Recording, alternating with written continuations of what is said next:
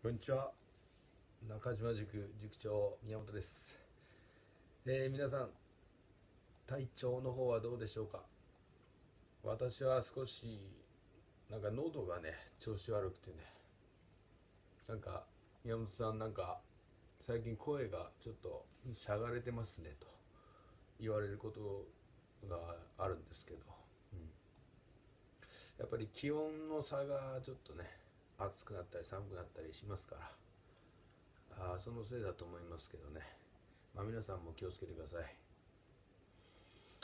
それでは今日は N2 によく出そうなあ問題を文法の問題をちょっとやりたいと思います、えーではまずこちら、えー3時間並ば並ばされた何々前の人のところでチケットは売り切れてしまった。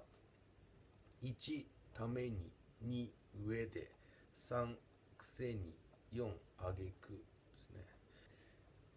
1番まずためにためには何かその目的がある時使いますね、えー大学へ行くために N1 が必要だとか何かその目的がある時使いますね。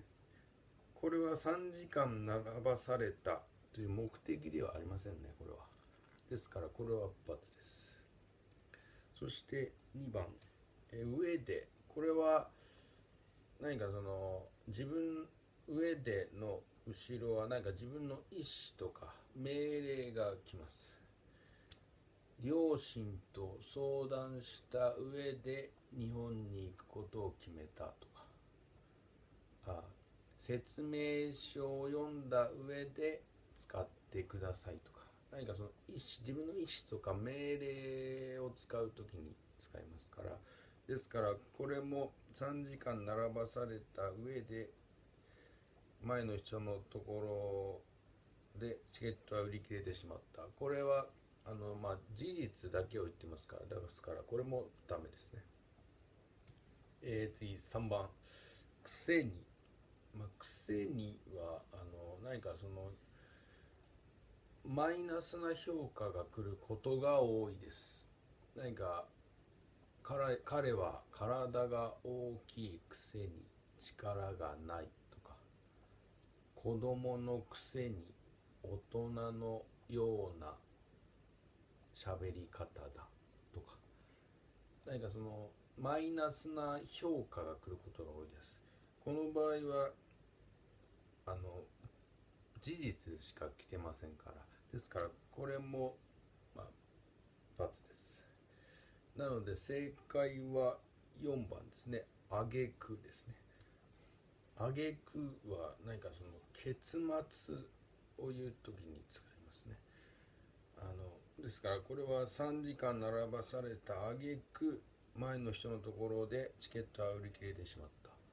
これ何か結果ね結末が来てますね。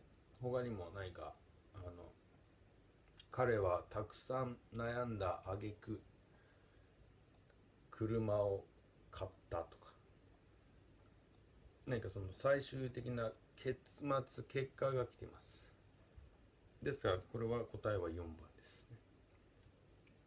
えーそれでは今日はあここまでにしたいと思います、えー何かちょっとね難しい説明ばっかりになってしまいましたけど何かあ質問とかあればまたコメントでもメールでもしてください。それでは皆さんさよなら。